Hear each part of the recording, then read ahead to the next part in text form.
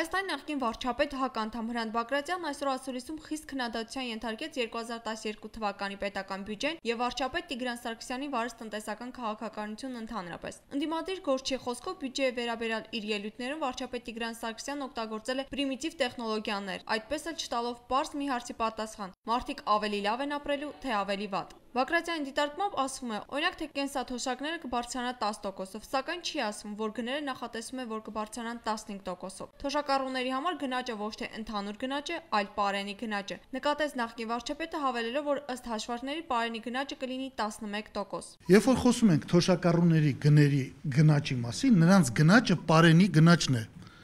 Նրանց գնաճը ընդհանուր գնաճը չէ։ 10-րդ տարին ասում եմ,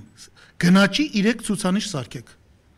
Գնաճի ընդհանուր ցուցանիշը կամ ինտերնետի էժանացումը թոշակառուին չի վերաբերում։ Բյուջեում աշխատավարձերի ավելացման մասին որևէ տող չկա։ Իսկ սոցիալական փաթեթ ասվածը ըստ Հրանտ Բագրատյանի ապակա եկամուտներն են, ապակա ծախսերը։ Բացի այդ նախկին վարչապետի գնահատմամբ տեղի չի ունենում եկամուտների բաշխում հոգու ժողովրդի։ Բագրատյանը չի հավատում նաև այն խոստումներին, որ խոշոր տնտեսվարողները հարկվելու են։ Բոլոր տեսակի հարկային ավելացումները խոշորի վրա կազմում են 2-2.5 միլիարդ դրամ։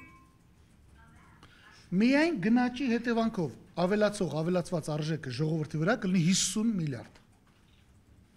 Ամենայն պատասխանատվությամբ հայտարարում եմ եւ հրավիրում եմ եւ հանրապետության նախագահի ուշադրությունը եւ հանրապետական կուսակցության ուշադրությունը։ Ազգային եկամտի օգտագործման հաշվի մեջ խոշորի հարուստների տեսակարգշիռը շարունակելու է ավելանալ։